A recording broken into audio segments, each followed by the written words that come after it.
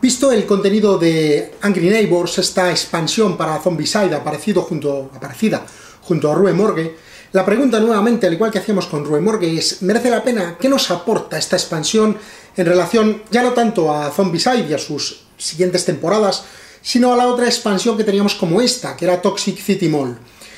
Bueno, Angry Neighbors nos aporta alguna cosilla nueva, aunque repite alguna de las cosas que ya conocíamos si teníamos ese Toxic City Mall, porque tiene algunas cosas repetidas. Nos indica las reglas de los zombivientes, por ejemplo, es algo que ya conocíamos, los supervivientes pueden morir y se levantan como zombivientes, como zombies, pero del lado de los buenos. Realmente son como supervivientes un poquito más lentos, pero muy duros, aguantan hasta 5 heridas. Es una cosa algo un poco, yo creo que desnivelada, al final casi compensa ser un zombiviente, pero no ha cambiado en relación a Toxic City Mall. Si conocíais las reglas de Toxic City Mall, aquí no han, no han cambiado, las reglas de los zombivientes. De nuevo aquí tenemos cuatro personajes nuevos que vienen con sus zombies, sus muñecos, digamos, sus miniaturas de zombivientes, además de sus miniaturas de humano normal, de vivo. Por otro lado, nos repite también el modo de juego ultrarrojo, y tenemos cartas de armas ultrarrojas. Si conocíais Toxic City Mall, ya conocéis este modo ultrarrojo. Si no, el modo ultrarrojo lo que nos permite es, llegados a nivel rojo, podemos volver a empezar, poner a cero el medidor y seguir subiendo. Seguimos en rojo, aunque el medidor marque azul o amarillo, seguimos en rojo, pero según vamos a, dar esa segunda vuelta por los niveles, podemos ir cogiendo habilidades que no hayamos cogido antes, y así tener más habilidades. Además hay algunas cartas de arma que vienen con sangre por arriba, que son cartas en modo ultra rojo, que solo se pueden usar, son armas devastadoras, pero solo se pueden usar cuando un jugador está en modo ultra rojo, cuando ha llegado al rojo y ha dado la vuelta. Podemos, eso sí, descartar esas armas si las encontramos antes y no nos valen para nada por 5 puntos de experiencia para poder subir más rápido. Y otra cosa que también nos repite en función a Toxic City Mall son las fichas de barricada. Fichas que ya existían, ya teníamos, de dos caras, que nos permiten montar barricadas para parar el avance de los zombies. Para montar una barricada, un jugador debe emplear tres puntos de acción y pondrá la ficha por el lado de en construcción, en obras. Y si otro jugador o él mismo en un turno siguiente gasta otros 3 puntos, lo pondrá por el lado de barricada completa. Esto no corta la línea de visión, pero sí frena el avance de los zombies. Y se podrán destruir, al igual que abrir una puerta con un arma que abra puertas, y los zombies en principio no podrán destruirlas, salvo que reciban una activación adicional, que entonces esa activación adicional hace que se quiten todas las barricadas que tengan zombies de ese tipo adyacentes. Vale como bloqueo temporal, no está mal, pero es una regla que ya teníamos. Y por último, en cosas ya conocidas, nos agrega y unas cuantas habilidades, algunas que también conocíamos de Toxic City Mall, por ejemplo, la más eh, curiosa es la de putrefacción, porque incluye esta ficha verde que veréis transparente, que lo que hace es que el, superviviente que tiene esa habilidad pueda pasar desapercibido entre los zombies si no ha hecho ruido ni ha hecho nada. Se queda como un poco quieto y camuflado, los zombies pasarán de él. Pero bueno, no todo es repetido. Tenemos, como decía, alguna cosilla nueva en este Angry Neighbors que sí nos aporta diversidad y variedad. ¿Qué cosas son? Quizá lo que más llama la atención, o lo primero que llama la atención, son los nuevos tipos de zombies. Estos zombies en color como gris, negro, ¿vale? Es un color así gris oscuro, plomizo, que son los rastreadores zombie. Los rastreadores, que solo hay de un tipo, son unos zombies especiales que en principio se camuflan entre los, entre los caminantes. Son como caminantes, tienen una acción, se les mata con uno de daño y su nivel de, digamos, en la lista de blancos está al mismo nivel que los caminantes se puede escoger entre un caminante y un rastreador a la hora de matar. Son como, como si dijéramos iguales. ¿En qué varían? Son un poco, nos dice el manual, como una panda de adolescentes histéricos. Cada vez que sale una carta que nos obliga a poner zombies de este tipo, que nos obliga a poner rastreadores, todos los que ya están en el tablero reciben una activación adicional. Así que cuantos más aparezcan, más se activan los demás. Es un zombie bastante duro, hay que tener mucho cuidado con ellos porque nos pueden jugar muy malas pasadas.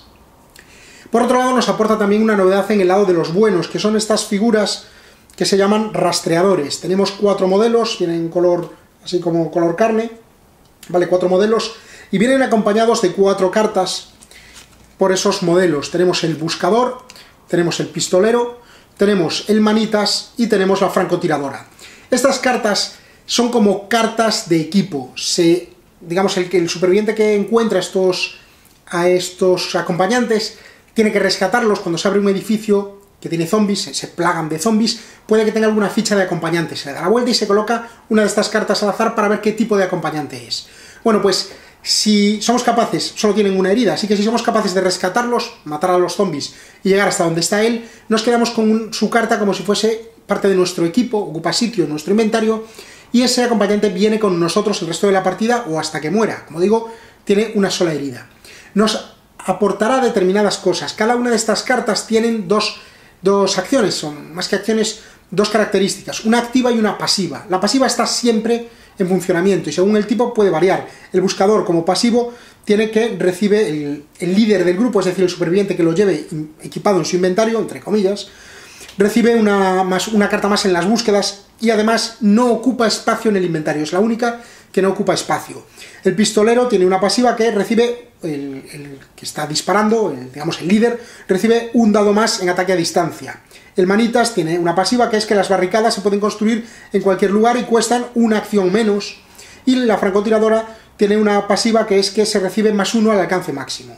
Así que el que lleve a estos acompañantes con él tendrá siempre estas habilidades. Y además tienen una activa, que se puede activar gastando una acción, ellos no tienen acciones propias, sino que el jugador, el superviviente que los controle, que tenga la carta en su inventario, puede gastar una de sus propias acciones para activar la habilidad activa de estos supervivientes, de estos acompañantes.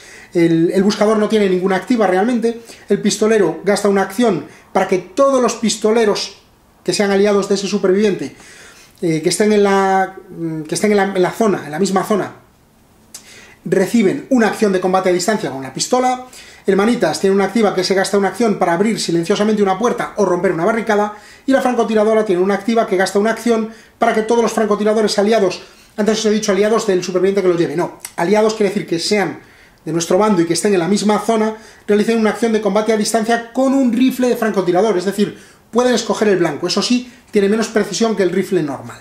Vale, así que en resumen es una, pequeña ayuda que tenemos a cambio de un hueco del inventario. Y por último, tenemos un tipo de suelo distinto, de terreno distinto, que son los agujeros. Estos agujeros hacen que nos podamos caer y necesitemos dos acciones adicionales para salir de él. En principio, tres acciones. Pero es una buena trampa de zombies porque los zombies no pueden salir de ellos. Además, estos agujeros vienen acompañados de unos tablones, que se ve aquí, que conectan o pueden conectar habitaciones en diagonal. Es lo único que tenemos en diagonal en Zombicide. Con estos tablones se consideran estas dos habitaciones en diagonal como adyacentes, tanto para mover como para atacar, lo cual es bastante útil. Y a priori nada más. Estas son las novedades, esto es lo que nos aporta este Angry Neighbors, además de 15 misiones nuevas. 5 para la temporada 1, 5 para la temporada 2 y 5 para la recién salida temporada 3 Rue Morgue. ¿Merece la pena este Angry Neighbors? Si tenemos todo, seguro que sí. Como fan de coleccionismo, también. Si no, si tenemos que sopesar entre Toxic City Mall y Angry Neighbors, yo diría que Angry Neighbors es un poquito más completo, nos varía el juego un poquito más que los simples eh, zombies tóxicos que nos daba Toxic City Mall, porque las otras novedades de Toxic City Mall aquí están, como digo, repetidas. Pero bueno, queda un poco a vuestro criterio, ya habéis visto lo que contiene, ya habéis visto qué nos aporta. Si merece la pena comprarlo o no, está en vuestras manos.